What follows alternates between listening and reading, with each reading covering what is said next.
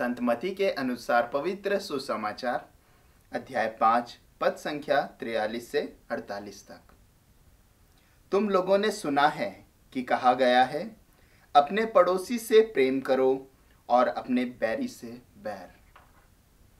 परंतु मैं तुमसे कहता हूँ, अपने शत्रुओं से प्रेम करो और जो तुम पर अत्याचार करते हैं, उनके लिए प्रार्थना करो। इससे तुम अपने स्वर्गीय पिता की संतान बन जाओगे।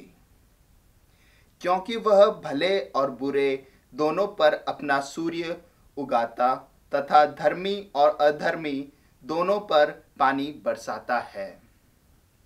यदि तुम उन्हीं से प्रेम करते हो जो तुमसे प्रेम करते हैं तो पुरस्कार का दावा कैसे कर सकते हो?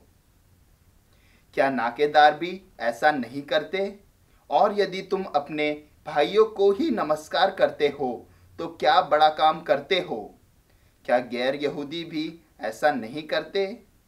इसलिए तुम पूर्ण बनो, जैसा तुम्हारा स्वर्गीय पिता पूर्ण है।